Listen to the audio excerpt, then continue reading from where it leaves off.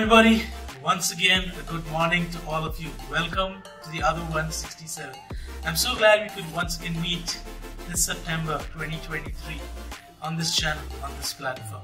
Well, if you've not subscribed, don't forget to subscribe to the other 167 and hit that bell icon so that you get all our notifications and follow us on our social media platforms that's Facebook, LinkedIn, and Instagram. And also write to us on the email ID as shown on the screen. Well, heart and eyes, found in Christ. I'm going to touch base on two topics today. That's heart and eyes. That's the first one. So, Jesus often told us that what goes into our heart is really what matters. And our eyes are one of those gatekeepers to the heart. That's to the inner life. That's why what you look at matters so much. Now, that doesn't mean if you look at food and you like food, it's not good, no? Because if you look at food, you like to eat, and if you like to eat, you like to cook. Well, that's not, I don't think that that's what God is trying to talk about here, but what He's trying to talk about is if you can take out our Bibles to Luke 11 34 to 36. Well, Luke 11 34 to 36, the message version says, Your eye is a lamp up to your whole body. If you live wide eyed in wonder and belief, your body fills up with light. If you live squinty eyed in greed and distrust, your body is a dank cellar. Keep your eyes open, your lamp burning, so you don't get musty and murky.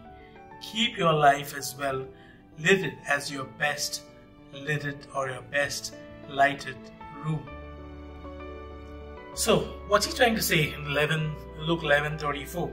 Well, it's basically what he's trying to say is you are what you eat, but even more accurately, he's saying you are what you see. Now, this is why David said, "I will set nothing wicked before my eyes." That's what David said. And a person who concentrates on what is good will see good, and that same good will enter into his heart. Um, but a person who focuses on bad teaching, and that's the false teaching of the world, would have his heart more into a sense of darkness. So darkness will suck into his heart. But if he has a godly teaching, well, that's where we say the eyes what they see, and then that what your heart speaks. Now, 36 also talks about your whole body full of light. Now, a person can become a light, a living picture of what God's word teaches by concentrating on the light of the truth. And who's the light of the truth? That's Jesus. Today, let's ask God to forgive when we looked at things that we know and feel instinctively they were wrong, and to forgive the parts of us that are unkind forgive the parts of us that are selfish. So let's ask God to give us that courage to uh, guard our hearts and guard our eyes on what we see. Let's all look to Christ to fill our hearts with His love, that our eyes would shine with His light, and our eyes would shine with His mercy, and our eyes would shine with His goodness. Now, when we have that light in us, when we have His mercy, when we have His goodness in us, I'm sure what goes in through our eyes, what sulks, sits down in our heart, that would come out of our mouth as well. Okay, so that's about heart and eyes. Now, let's just um, look on to the next topic that I wanted to talk today. The next subject, or the next uh, para, you could say, is about finding yourself in Christ. Have you found yourself in Christ? Well, we all want to find our purposes in life.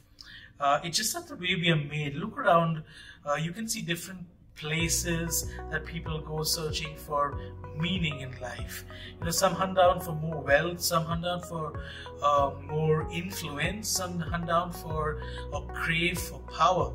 Now, I'm not saying that you cannot get more wealth. No, I'm not saying that. I'm not saying that you cannot be an influencer. I'm not saying that you cannot get power uh, or you cannot strive to get power. That's not what I'm trying to say.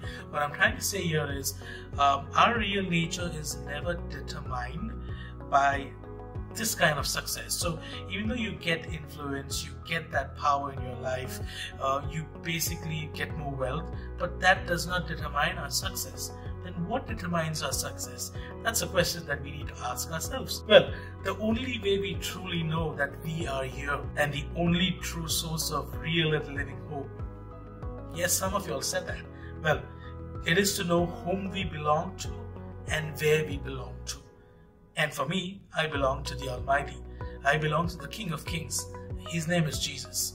Well, those who put their hope in Jesus, Luke 20 36, those who put their hope in Jesus can no longer die, for they are like the angels. They are God's children, since they are children of the resurrection. Wow, that's fantastic. Well, you are the child of the resurrection. I am the child of the resurrection. And so, when you and me are the child of the resurrection, we have eternal life. So we live even after we die. And isn't that fantastic? That's when I say Luke 20 36. Um, just to give you a little insight, equal to the angel Son of God, that's what the verse says. The everlasting life of a resurrected person makes that person something like an angel.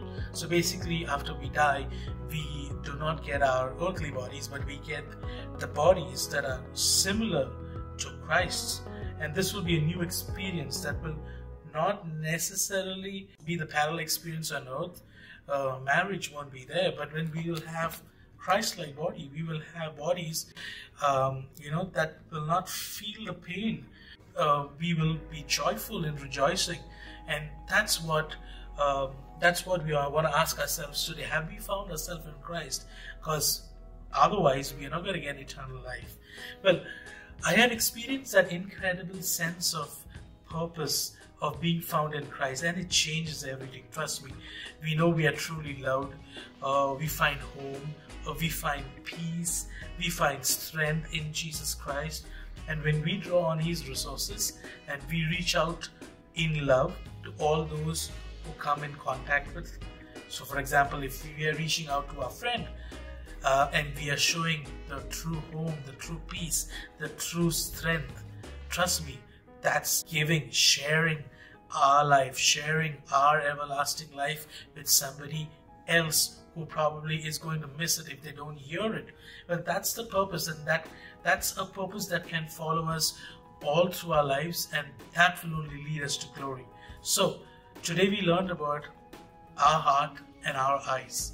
We learned that we should not look at something bad or we should not um, we should not basically uh, get those bad teaching in our lives but we should always keep our eyes on good things. Uh, we should have mercy goodness and love so that we can have that coming out of our mouths because our eyes is the gatekeeper to our inner being. That's our heart and on the other side, have we found ourselves in Christ? If we have, we ought to share it with others. So, this video, at the end of the video, uh, I would like you all to go ahead and share it. Share it with your friends. We're not here to be selfish enough to keep it to ourselves.